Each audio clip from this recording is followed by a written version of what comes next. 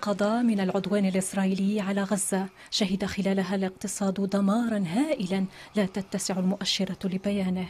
تتفاوت في قطاع غزة تقديرات الخسائر المادية بين جهة وأخرى إذ يظهر أحدث تقرير مشترك للبنك الدولي والأمم المتحدة أنها تبلغ 18 مليارا ونصف المليار دولار وبات أكثر من مليون غزي بلا منازل وثلاثة أرباع السكان مشردين وبينما يعاني كل أهالي غزة من الفقر المتعدد الأبعاد وانعدام الأمن الغذائي أصبح أكثر من نصف السكان على حافة المجاعة.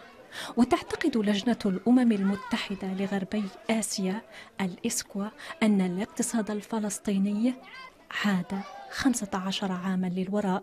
في حين قالت وكالة الأمم المتحدة المعنية بالتجارة والتنمية إن استعادة اقتصاد غزة كما كان يتطلب سبعين عاما من النمو. في إسرائيل أيضا لم يكن الاقتصاد منتعشا بل على العكس تماما إذ انكمش بنسبة 20% في نهاية العام الماضي.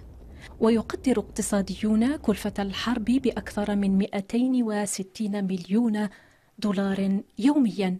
ومن المرجح أن تصل التكاليف المباشرة للحرب على قطاع غزة إلى 70 مليار دولار. هذا التعطيل الاقتصادي لا سيما في قطاعات حيوية كالإسكان والزراعة والنقل.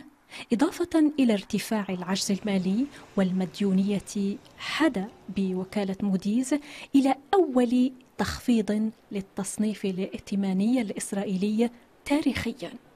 نصف عام من حرب هي الأكثر دموية في القرن الجديد أزهقت الأرواح ودمرت الاقتصاد وقوضت معيشة الناس في غزة وعطلت عجلات رئيسية في اقتصاد الاحتلال.